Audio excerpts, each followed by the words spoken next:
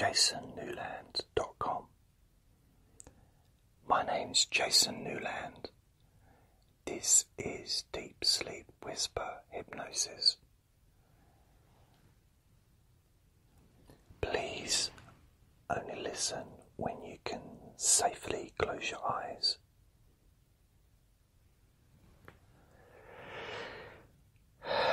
So I'd like to say thank you to those of you that have uh, helped to pay for the website for the next month.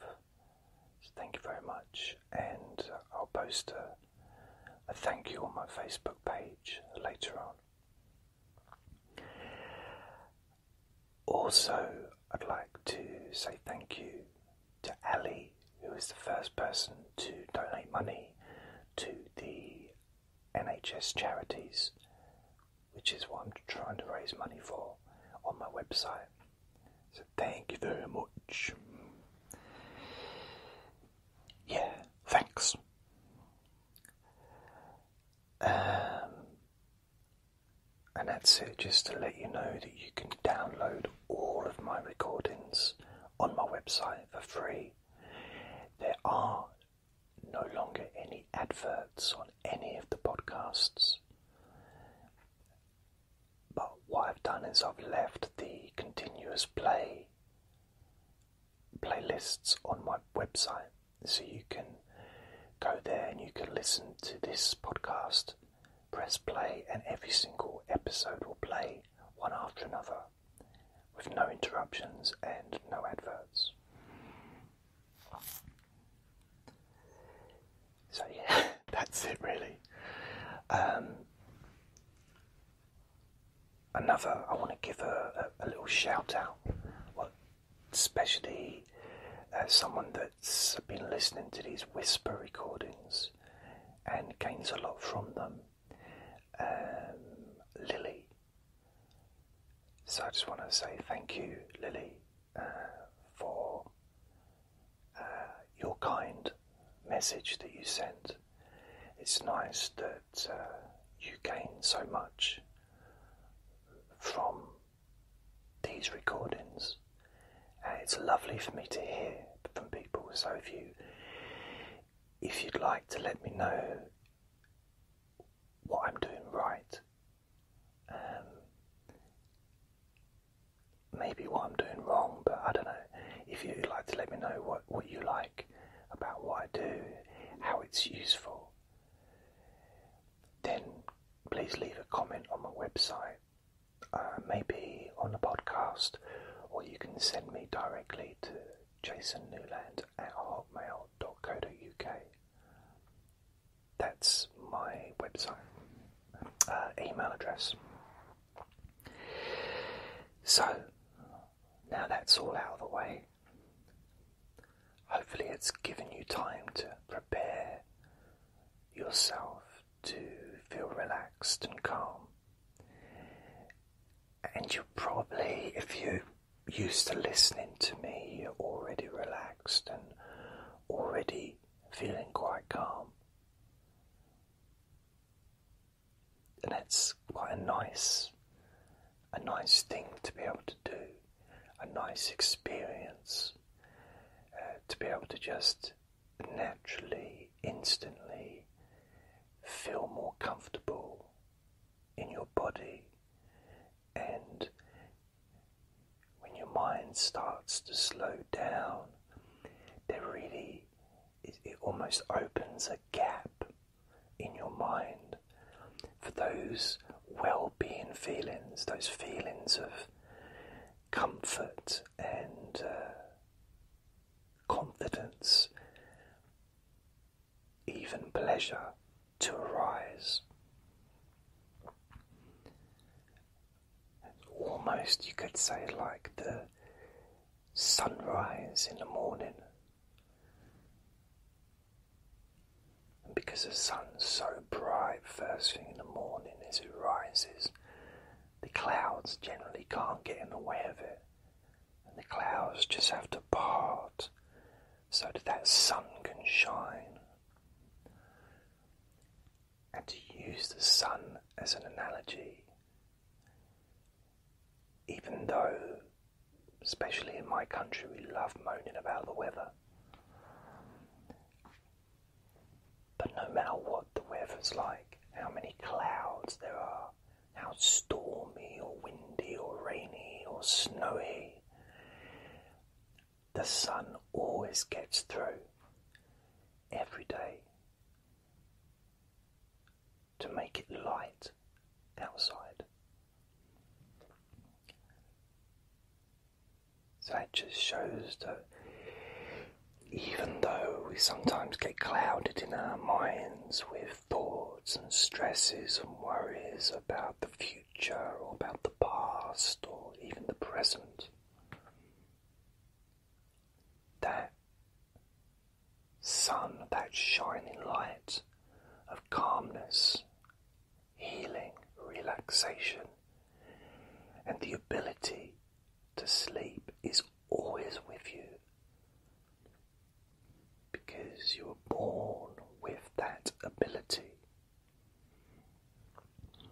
Born with that natural ability to just let go naturally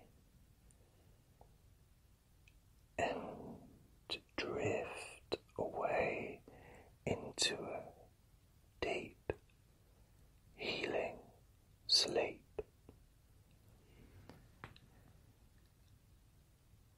And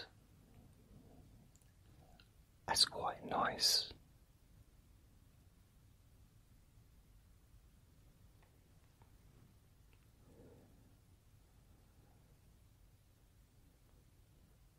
It's quite nice to know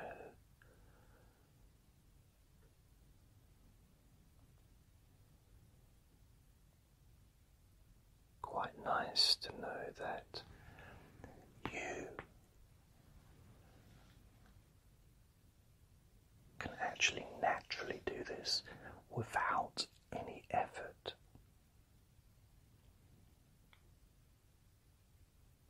I like that idea. The idea of just allowing it to happen. Because you can't force yourself to be relaxed. You can't force yourself to feel tired. You can't force yourself to feel hungry. These things have to occur naturally. And they all do occur naturally. Maybe not always at the right time. you know, maybe sitting in a classroom or an office or in a meeting or in a discussion, long drawn out discussion about something, you may find yourself feeling tired just naturally. It might be due to boredom. It might just be because you're doing something that you don't want to do and your mind's switching off naturally. Which I think is is kind of okay really when you think about it that way. Obviously not useful if you're a brain surgeon. So you want to be able to focus. But these feelings happen, and quite often we ignore them. We just push through because we have to do what we're doing. We've got a job to do, we've got, you know, priorities and engagements to deal with, and that's fair enough. It's just part of being alive. We can't always lay down on the floor and go to sleep whenever we feel tired. But there's less there's less chance of you feeling tired at inappropriate times when you get a good night's sleep at the appropriate time.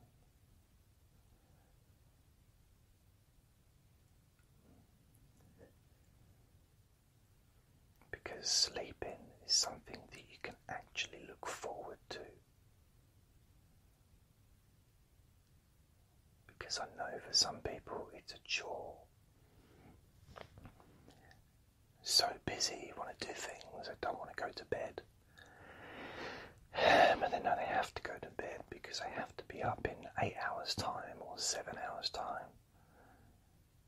So they're laying on their bed almost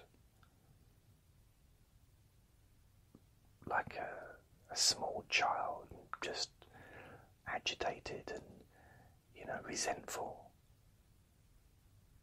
feeling that they're missing out on something.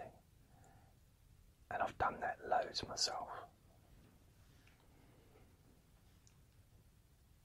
However, when you realize that sleeping is something that you can look forward to because it's wonderful, it's really nice to just lay down on a bed, feeling relaxed, just cuddling up, either to your partner or to, in my case, I like to cuddle up a, to, around the quilt and the a pillow. I like to cuddle a pillow, which is possibly a bit weird, but make do until I get myself a new teddy bear. You think I'm joking? I want to get a teddy bear. Anyway, I I wonder what it would be like for you if you actually thought of sleeping and going to sleep in a different way. Instead of being this chore or this thing that you have to do or this unpleasant experience that you need to you're gonna have to relive because you're maybe expecting it to be rubbish again like it was the night before or you know that kind of stuff. Perhaps if you start looking at it different perspective and expecting a different result expecting yourself to feel relaxed instantly when you lie down on your bed. Expect your mind to start slowing down instantly. Second your head touches the pillow, because that's what the pillow's there for, it's there to support not just your head but your brain and your mind. You trust that pillow to support the most important part of your body, which is your brain. You could argue, well, that's not my body, that's my head. Well, there's a little thing called a neck. Connects the two. Your brain is the most important part of your whole existence, your whole body. I'm just going to keep using the word body, I don't care. You trust that pillow to support your head. You trust that pillow to support your neck. Again, such an important part of your body. The one part that you can't afford to damage.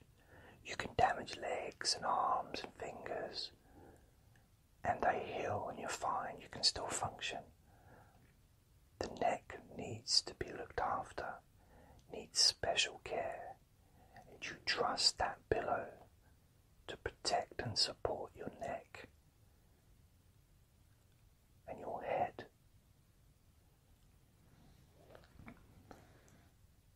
And your brain, which is inside your head ultimately. It's not the head itself that, that's important, it's what's inside. Just like a chocolate bar wrapper. We don't care about the wrapper, it's that chocolate inside.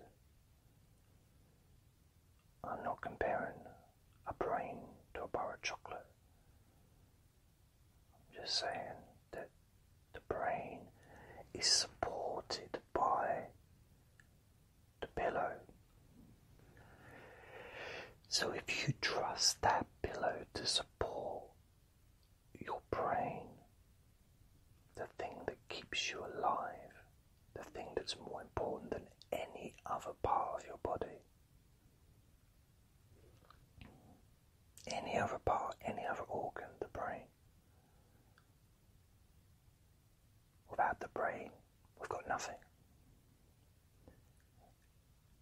Yet you put your trust in that pillow to support your head and your brain and your neck, where the spinal cord moves from your brain into the rest of your body.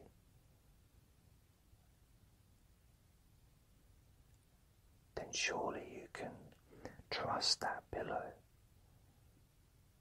to support you during sleep, to support you to sleep. Trust it with your sleep. Trust it. Trust that pillow. Because you already do.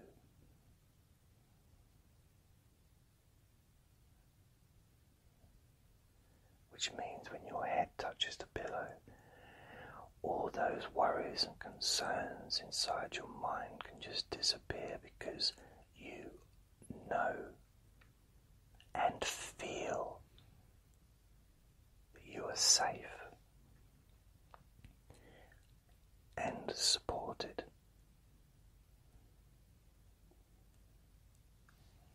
And then you've got the bed. The bed supporting your body, the whole of your body. Without the bed, the pillow would be of no use unless you're on the floor. But your body is supported by the comfort of the bed.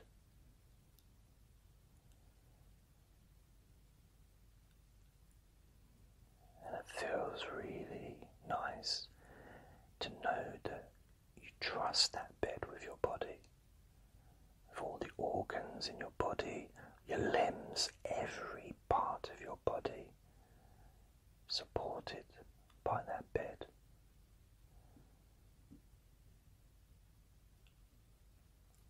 And you know that regardless of what comfort you feel when you originally lay down in your bed,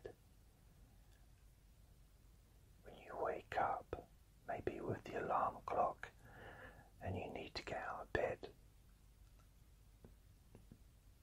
that level of comfort physically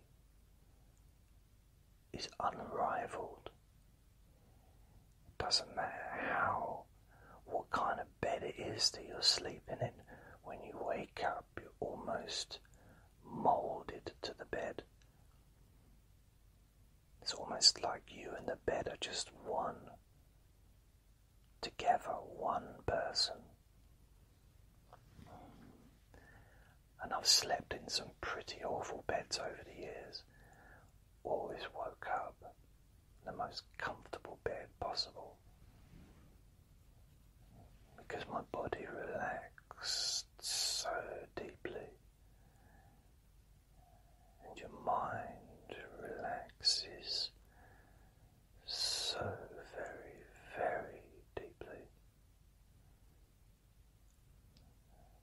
Every part of your body, all the muscles naturally relax and almost become part of the bed.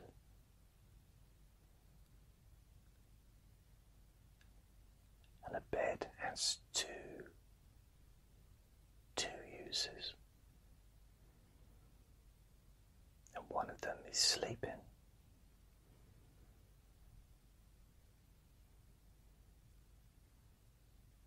It's not a multifunctional piece of furniture. It's not a table where you can eat at it.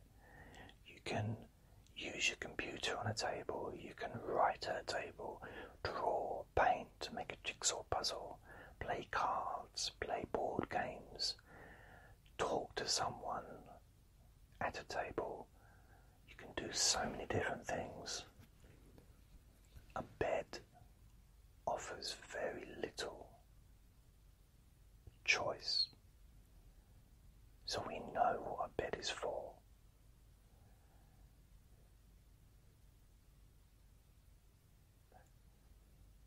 I've never lied down in my bed and thought, oh, what shall I do now? I know what to do. We don't, don't even have to think about what to do.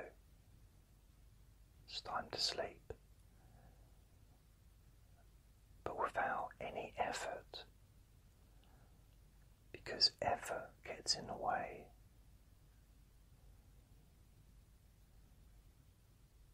Effort gets in the way.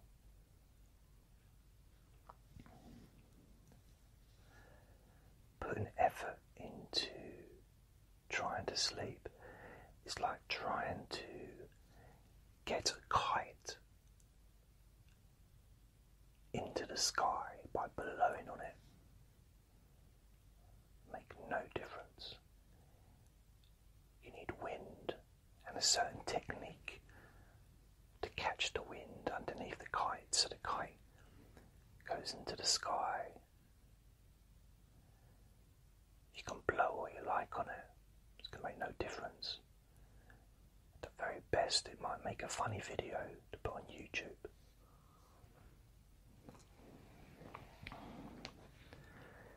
No effort is needed.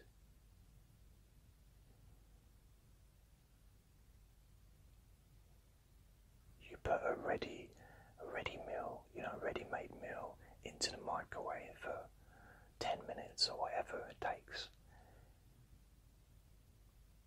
You can stand near the microwave and make a buzzing sound. It's not make any difference to the speed that the microwave goes. You can make a ding ding sound, but the food's not going to be cooked any quicker.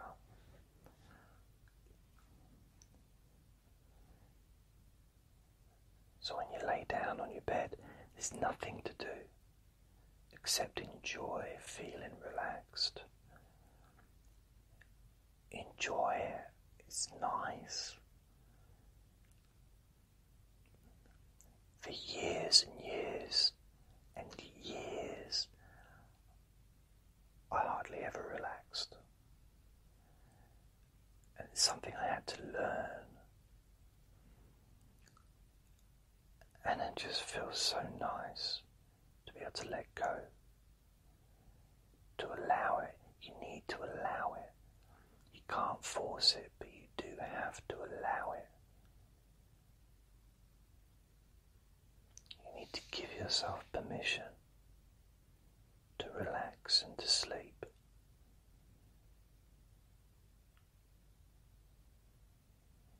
Give yourself permission to let go.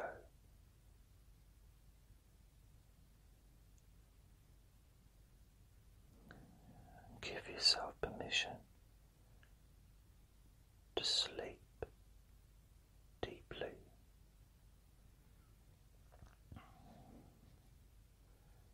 Sleep deeply.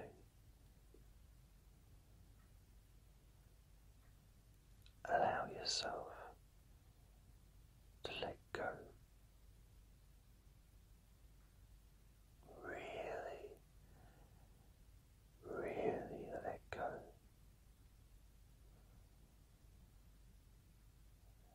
And now, whenever you think about laying down on your bed, you can actually look forward to that physical sensation of relaxation, that physical sensation of letting go. Also, the feeling in your mind of total calmness spreading through your body feels amazing. It's just pleasurable, really pleasurable. And you can feel it in parts of your body, that pleasure, different muscles relaxing. It feels nice. I think relaxation is underrated in a sense of, you know, it's supposed to be the opposite to stress. But actually, it's not about stress, it can be about pleasure. Deeply relaxing really, really feels nice.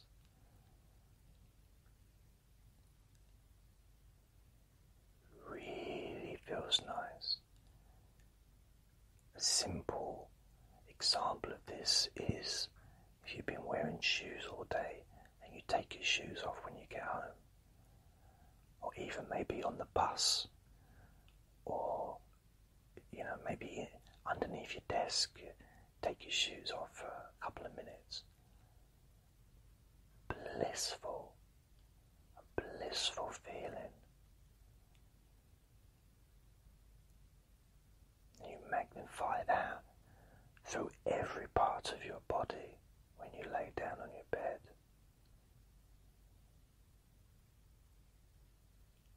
Part of you might not even want to go to sleep. You'll be just so enjoying that pleasure. And sleep just happens naturally.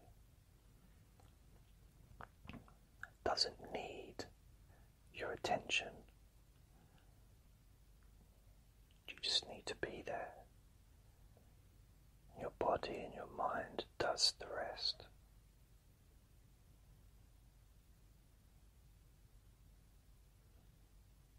Enjoy the pleasure of deep relaxation.